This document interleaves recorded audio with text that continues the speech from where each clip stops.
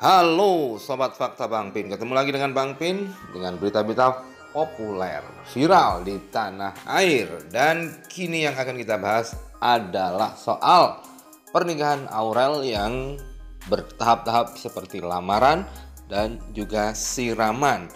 Yang disorot tentu tidak hanya keluarga De Hermansah Atta, Aurel, Ashanti, Anang, dan lain-lain.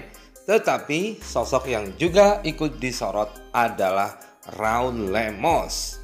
Nah, sudah tahu kan siapa Raul Lemos? Raul Lemos adalah suami Kris Dayanti setelah bercerai dengan Anang Hermansah. Banyak yang menyorot peran Raul Lemos ini karena hubungannya dengan Aurel dan juga Azriel yang pernah kurang harmonis. Nah, kali ini Raul Lemos memberikan pesan untuk pernikahan Aurel yang bikin Krisdayanti terharu di hari anniversary-nya. Nah, apakah pesannya itu? Yuk simak fakta Bang Pin. Kita akan kupas-kupas tuntas di video ini. Jangan lupa like, subscribe, and komennya ditunggu karena selalu ada doa dalam setiap lentikan jarimu. Ya, penyanyi Krisdayanti mengungkap pesan sang suami Raul Lemos terkait pernikahan putrinya Aurel Hermansyah Mendengar pesan tersebut, Krisdayanti sampai terharu dan menganggap sebagai hadiah anniversary pernikahan yang luar biasa. Hari ini tepat 10 tahun pernikahan Krisdayanti dengan Raul Lemos. Anniversary pernikahannya bertepatan dengan acara pengajian Aurel Hermansah jelang menikah. Mantan istri Anang Hermansah tersebut hari ini menghadiri acara pengajian putrinya. Setelah sebelumnya pada prosesi siraman kemarin, Krisdayanti absen. Lantas, pesan apa yang disampaikan Raul Lemas kepada Kris Dayanti terkait pernikahan Aurel? Hal itu dibeberkan langsung oleh Kris Dayanti sebelum berangkat ke pengajian. Mulanya Kris Dayanti bersyukur persiapan pernikahan putrinya lancar sampai hari ini. Alhamdulillah sampai juga kita acara pengajian yang digelar untuk memperlancar acara pernikahan nanti. Kata Kris Dayanti dikutip tribunjakarta.com dari YouTube KH Infotainment. Chris Dayanti lantas mengungkapkan pesan Raul Lemos yang memintanya ikut serta membantu acara Aurel Hermansyah dan Atta. Alhamdulillah suami saya sangat mendorong saya agar bisa semaksimal mungkin pikiran dan badan untuk membantu proses pernikahan anak saya ini. Dengan sangat terbuka bisa dilibatkan. Kalau saya dilibatkan alhamdulillah Anak-anak juga minta saya hadir, sambung Krisdayanti. Krisdayanti juga mengungkapkan Raul Lemos sangat mendoakan kelancaran pernikahan putri sambungnya itu. Selain itu, Krisdayanti berterima kasih kepada publik yang telah memberikan selamat ulang tahun pernikahan kepadanya. Menurutnya, tahun ini berbeda dengan ulang tahun pernikahan pada tahun-tahun lalu. Pasalnya karena pandemi COVID-19, Krisdayanti dan Raul Lemos harus menjalani hubungan jarak jauh. Meski begitu, Kris Dayanti bersyukur karena tidak susah berkomunikasi bersama sang suami yang berada di Timor Leste. Kali ini emang nggak merayakan bersama, Alhamdulillah. Kita masih dibantu sama teknologi, jadi masih bisa video call, komunikasi dengan baik, kata Kris Kris Dayanti lantas mengungkap kado ulang tahun pernikahannya ke-10 dari Raul Lemos yang mengharukan.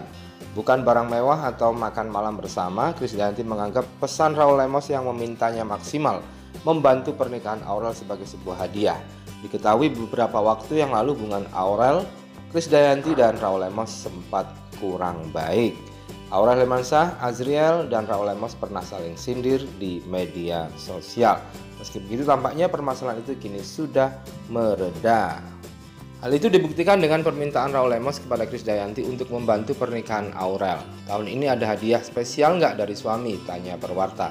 Buat saya, dengan Raul mendorong saya untuk bisa maksimal terlibat dalam pernikahan Aurel dan mendoakan putri saya itu sudah hadiah yang luar biasa buat saya. Ucap Kris Dayanti. Dan berikut ini wawancara Kris Dayanti dengan KH Infotainment. Dan alhamdulillah suami saya sangat sangat mendorong saya agar saya bisa semaksimal mungkin pikiran dan badan saya untuk membantu proses pernikahan anak saya ini terbuka bisa dilibatkan kalau memang minta saya dilibatkan dan alhamdulillah anak-anak meminta saya hadir alhamdulillah juga omnya mendoakan dan uh, memohon agar acara Aurel pernikahannya nanti bersama apa bisa berjalan dengan lancar. Saya sendiri aja ke sana.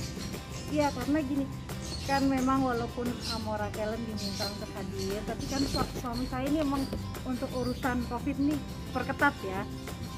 Karena untuk alasan kesehatan akan lebih baik kan anak-anak untuk tidak di- dibawa ke tempat umum. Karena mengingat saya juga eh, anggota wakil rakyat juga harus memberikan contoh. Jadi akan lebih baik kalau anak-anak nggak dibawa di tempat umum karena saya harus memperhatikan kepentingan bersama ya ketimbang keinginan pribadi. Secara pribadi ingin bawa anak-anak tapi kepentingan umum harus lebih diutamakan. Nih, selain keba- Semua tadi udah ucapin ya alhamdulillah 10 tahun tapi baru satu kali ini sih. Memang nggak merayakan bersama ya. Karena memang alhamdulillah kita ini masih dibantu sama teknologi sekarang. Jadi kan masih bisa video call masih bisa uh, komunikasi dengan baik dan dan terarah. Nah Tahunnya tuh apa biasanya makan malam oh ya yang paling berkesan itu sekitar beberapa tahun yang lalu ya? Tiga tahun yang lalu di Bali saya menulis konsep buku dan ditulis oleh uh, sahabat saya Mbak Esther Hidayanti dan dibuat buku sebagai hadiah ke Raul walaupun hanya dicetak terbatas tapi itu hadiah yang sangat berke- berkesan di mana menurut pandangan saya figur peran saya itu saya tulis dan dikonsepkan dalam sebuah buku ini insya Allah nanti ada kesempatan bisa dibuat bukunya Raul kan orang yang lumayan, eh, yang sangat romantis juga ya. Juga mungkin tahun ini ada hadiah spesial atau buat mam buat buat Mimi. buat saya dengan Raul mendorong saya untuk bisa semaksimal mungkin untuk terlibat dalam pernikahan putri saya dan mendoakan putri saya itu udah hadiah yang luar biasa buat saya ya. Ini hari ini spesial pakai baju hijau-hijau ya Mia. Iya, ini eh, permintaan permintaan pengantin ya hari ini pakai hijau. Kemudian saya pakai baju em, muslim wear dari Ibu Ana Avanti kembali. Ini kan keadaannya luar biasa nih. Pandemi ini luar biasa. Kita harus harus punya kelegowoan lah. Nggak usah selalu semuanya harus sesuai ekspektasi mbak. Semua kita jalani. mungkin Pak Raul lagi enak badan atau gimana sih? Kelihatannya kayak capek banget nih. Oh ya capek lah panasan. Oh, Oke, siap nih kalau gitu. Mungkin Pak Raul sendiri langsung ada pesan langsungnya sih ke Kak Aurel sendiri. Pesan Oh, secara kan langsung. Oh.